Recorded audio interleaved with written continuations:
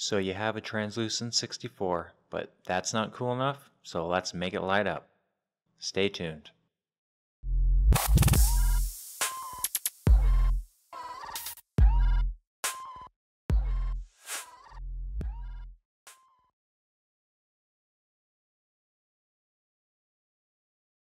Let's start off by gathering the tools you will need. First you will need your soldering setup, wire strippers slash clippers, a pair of scissors, assorted Phillips head screwdrivers, the special Nintendo security bit screwdriver, these are easily found with Google,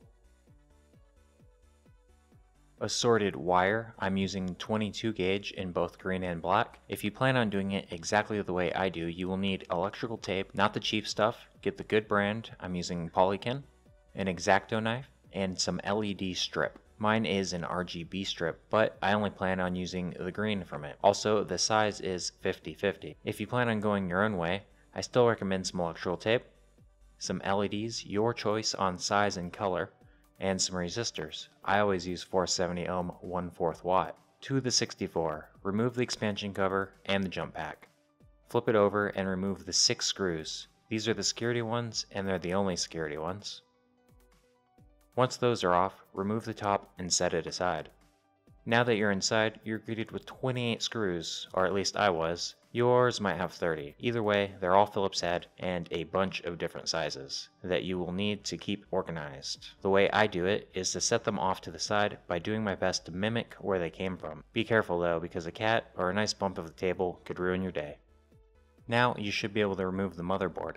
Carefully flip it over Mine stay together for the most part, yours may not. Remove the bottom cover. We will be focusing on where we will be pulling our 12 volt source from, or our positive wire. The pin is marked with a 7, so go ahead and attach your positive source wire to that pin. If you need to, I recommend attaching your resistor directly to the pin, then the wire. I don't need to, the LED strips I'm using have resistors built in.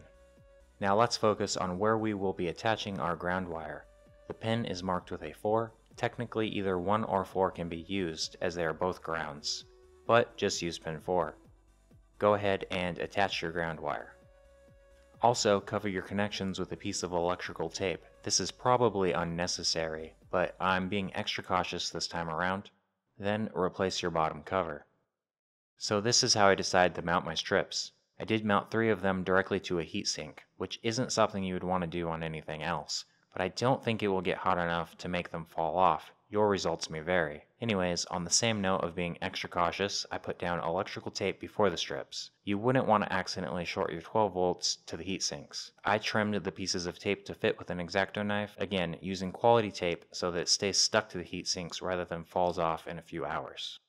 Okay, so I have no desire to change the power LED, but if you do, here's the pinout. The right way to do it would be to desolder the LED and replace it. I measured 1.9 volts going through the LED, so a resistor shouldn't be necessary, but don't hold me to that.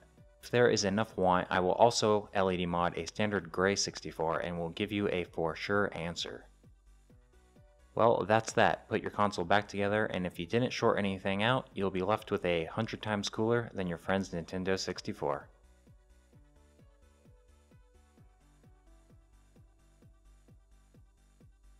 Thanks for watching. If this helped you, please leave a like and subscribe for more modding goodness. You can follow me on Twitter at TechnoOnTop for channel updates, news, and just what I'm working on. Now, some of you may have noticed my last video was deleted. I felt like it was missing some key information, so I will be adding to it and re-uploading. It may end up being a completely different video with the same subject. I'm not quite sure yet. Anyways, thanks for your support. Until next time, peace.